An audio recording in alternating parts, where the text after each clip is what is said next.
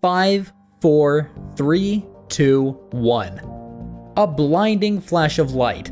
A second later, a powerful wave of heat and radiation, and it is only now that you can hear the explosion sound. There goes an ascending cloud of the Mushroom Cloud. According to official data, 9 countries of the world are armed with about 13,000 nuclear warheads.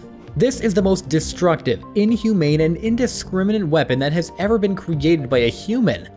In the first two seconds, the shockwave passes approximately 1,000 meters, and the super powerful energy of the heatwave causes immediate charring of biological material. There will only be the shadow of life on the concrete left.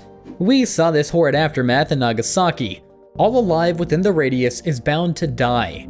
Those who are at a distance of 3 to 4 kilometers will have a 50-50 chance to survive.